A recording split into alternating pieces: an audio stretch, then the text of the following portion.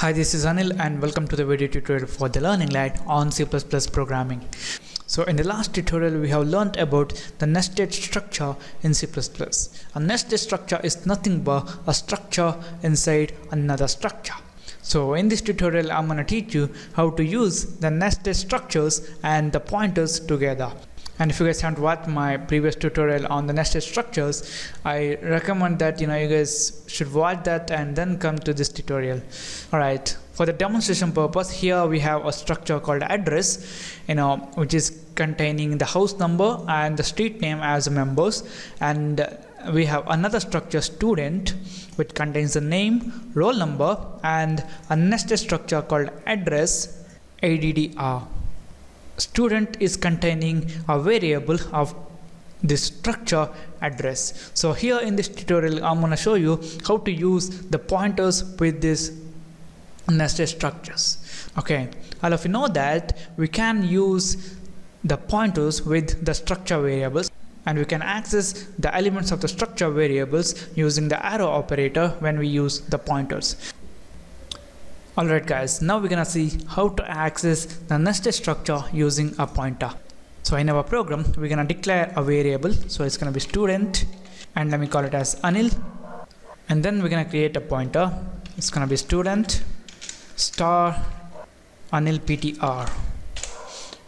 Okay, in this example, our Anil PTR will point to this structure variable Anil.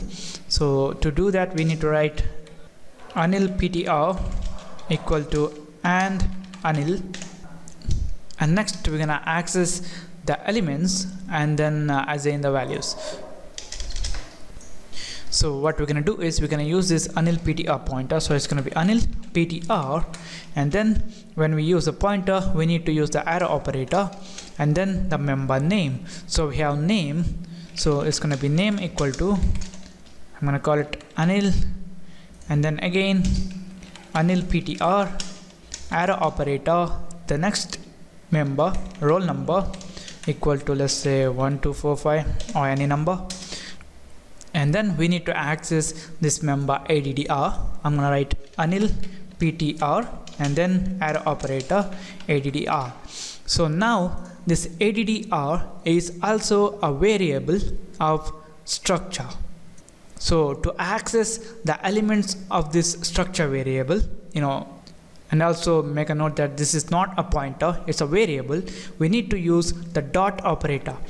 It's going to be anil ptr and then this arrow operator we can access this addr and to access the elements of this addr or the members of this structure variable addr we need to use the dot operator and then the house number the member name and let's say 68 and similarly anil ptr arrow operator addr dot street name equal to let's say brigade road. Alright. So now we have accessed the nested structure variable using a pointer. The next thing that we're gonna do is we're gonna print out the values so I'm gonna use cout and it's gonna be anil ptr arrow operator name end line and I'm gonna copy this statement and paste it. So it's gonna be anil ptr roll number and it's gonna be anil ptr arrow operator addr dot house number and one more time I'm gonna paste it and I'm gonna change this one to addr dot street name. Alright now I'm gonna save this. I'm gonna build and run this. So now you guys can see we have accessed the elements using the pointer. Alright the next thing is what if we have a pointer to this structure address here you know while defining this structure student what if we have a pointer to another structure variable?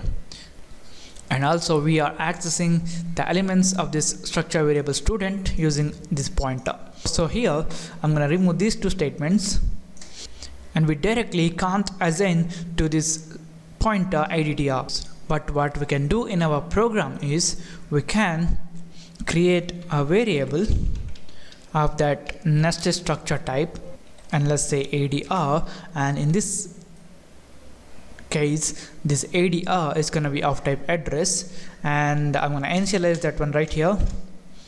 So it's gonna be the house number 65 and then the street name let's a Madamaki alright.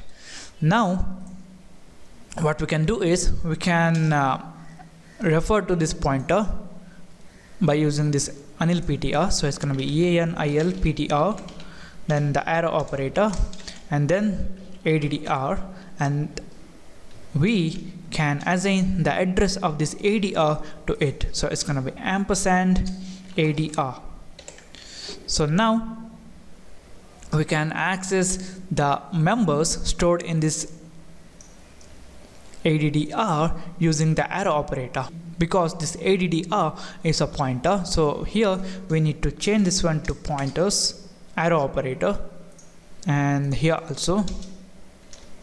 So I'm gonna save this. I'm gonna build and run this. So now you guys can see Anil 1245 65 and Madamaki. Alright so the next thing is what if we want to access the values of this variable Anil using this variable only not this pointer? And also we have a pointer inside that structure student. Alright to do that I'm gonna remove this line anil ptr equal to ampersand anil. And here also we need to change this one to dot operator anil dot name anil dot roll number and then anil dot address and uh, here it's going to be anil dot name anil dot roll number while accessing and then anil dot addr and then we're going to use the arrow operator.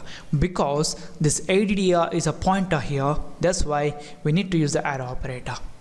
So it's going to be another dot and I'm to save this I'm to build and run this. And also okay we need to change this one to Anil. And here also we need to remove the ptr because you know we are accessing using this variable anil. So i'm to save this i'm to build and run. So now you guys can see anil 124565 madamaki so this is it guys. This is about the pointers and nested structures in c++ i know it is confusing but you know i just wanted to teach you. So if you don't understand please watch it again. Thank you for watching and don't forget to subscribe. And i'll see you in the next tutorial